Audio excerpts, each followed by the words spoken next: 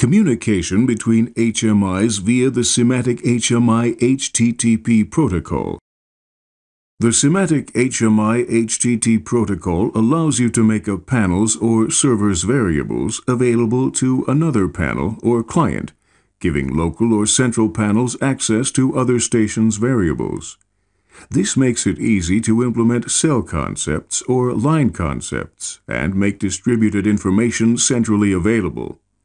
This concept also makes it possible to set up small and cost-effective central control posts. Use of a PC for this purpose results in additional possibilities for archiving, analysis, and further processing of the acquired process data.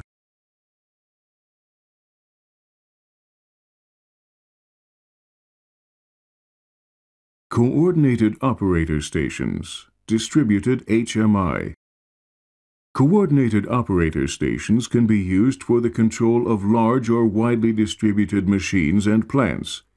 The operator can control and monitor the plant from different locations, but only one operator station can access the device with the configuration at any given time. The operator sees the same display on every operator station and on the device with the configuration. Since there is only one master configuration, Modifications need be made only once.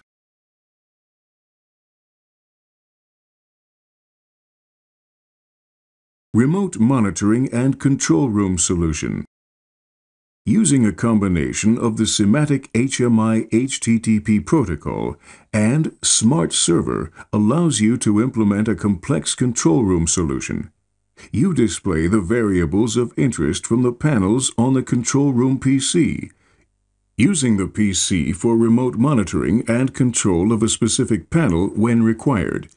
The local panels are thereby linked to one another, allowing general control of the entire process. The concept of teleservice is made possible by the use of the Smart Client display in the control room's HMI application.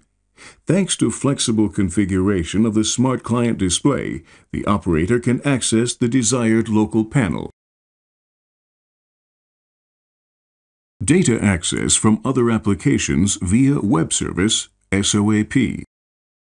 Data interchange is also possible between panel and office applications, for example MS Excel, with the aid of a VBA macro.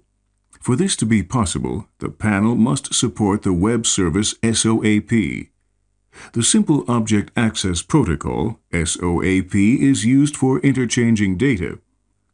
In the external application, a customized script or macro is called and reads or writes the relevant variable in the prescribed syntax.